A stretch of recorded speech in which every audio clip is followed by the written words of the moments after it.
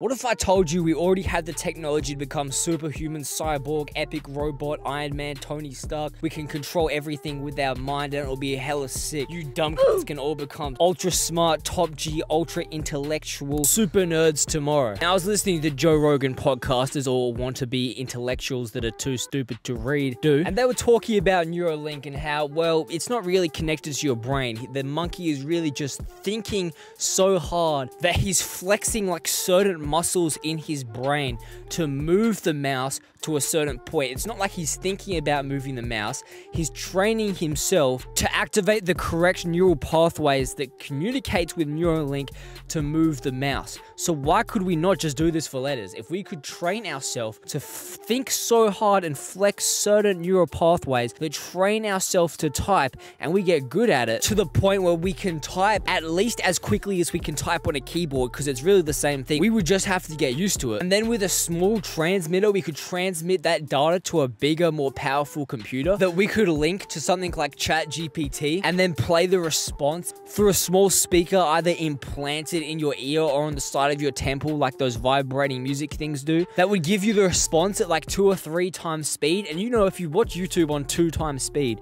eventually you get really used to it. So if you're having responses all day, every day on like three, four, five times speed, you could probably be able to digest that information after a while of training with it. And that would allow any dumbass like me or you to unlock an intellect greater than Stephen Hawking. Now, in all reality, I don't know much about Neuralink. I don't know how difficult that would be to train yourself to be able to do. But if a monkey can move a cursor, I'm sure I can figure out how to make my brain say yes or no to something.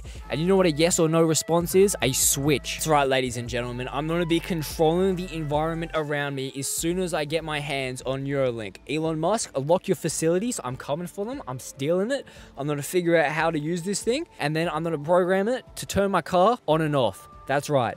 I'm going to have no keys for anything. I'm never going to be able to lose anything again because I won't have anything. Okay, I walk up to my car. I'm going to unlock it with my mind.